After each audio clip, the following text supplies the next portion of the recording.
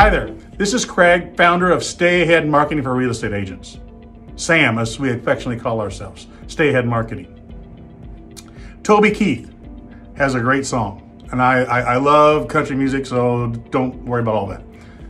How do you like me now? How do you like me now, now that I'm on my way?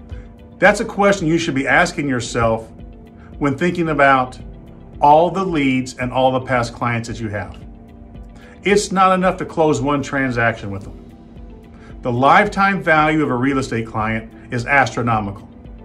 We've gone through this in other episodes and probably worth another episode just explaining that all in of itself. But how do you like me now is exactly how you keep those clients in your database, on your social media programs, coming back time and time again. But more importantly, it makes no difference how many times they buy a house from you. It's how many times they tell a friend about you. So every day, think of Toby Keith. How do you like me now? Now that I'm on my way, I want to stay in front of you each and every day.